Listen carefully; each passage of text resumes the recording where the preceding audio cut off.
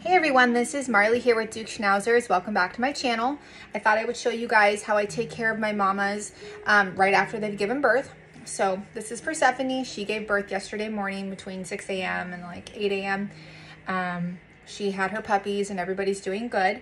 And what I like to do at this point is obviously you should be monitoring your, your mama dogs all day long throughout the day. You really shouldn't be leaving them alone with the puppies at all these first few days. Um, this is Perry's fourth litter, so she knows what to do. She's very good with her puppies. Um, just having a little bit of a milk issue, but we're getting through it. Huh.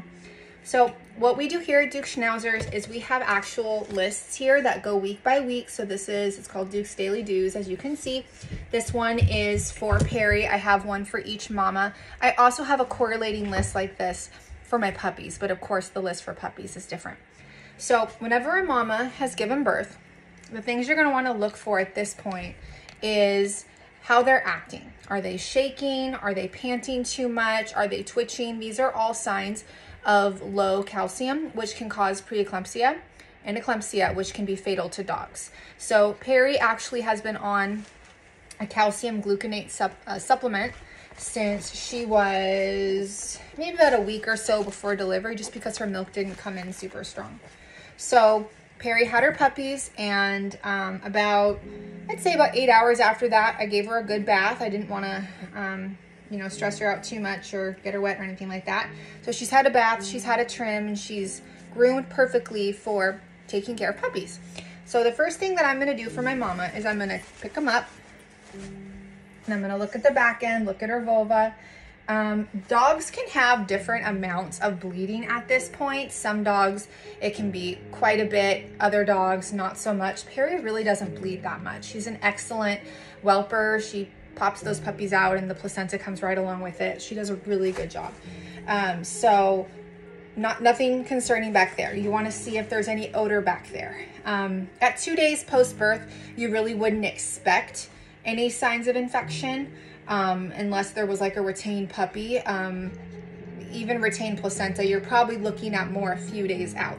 Now, for all of my girls, I prophylactically give them amoxiclav for seven days after they whelp just to prevent any infection. These are dogs, they're not as clean as humans, so, you know, we just wanna make sure that we keep her healthy. The next thing that I'm gonna do for her, because she looks great, she's panting, but it is hot in here and she's okay, her temperature is fine. Um, I'm going to roll her over. I'm gonna start with the cleanest area first, okay?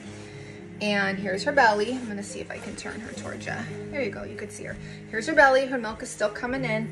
And I'm gonna just carefully check her for any hard lumps or anything red, something that seems painful because we wanna check for mastitis. And then I'm gonna take my paper towel, which I have sprayed down with a diluted chlorhexidine, and I'm going to actually wipe her teats, wipe her chest, wipe her belly, get into those creases, because we don't want that getting to the puppies, okay? All right, so that's done. And then I'm gonna take my other one here, and I'm gonna spray it a bit more with some chlorhexidine, and kind of smush it around. And then back here, I'm actually going to clean her vulva, wiping down and being very gentle, just to get off that discharge,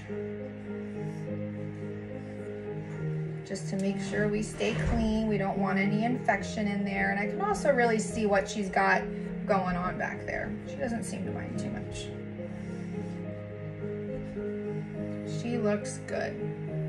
Then I'm also gonna do a quick swipe of her anus.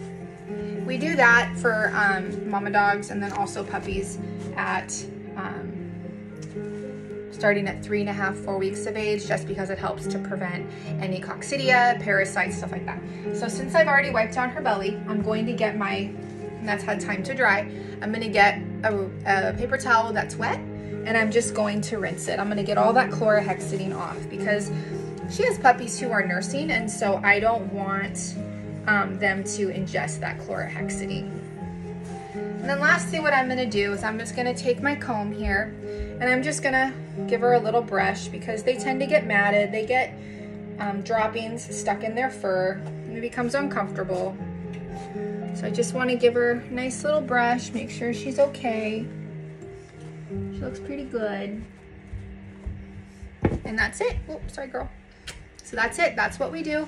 And I'm going to do this every day. And then I do a little check off on my list. And that's just one of the things that makes us special here at Duke's Schnauzers. All right, guys. Have a good day.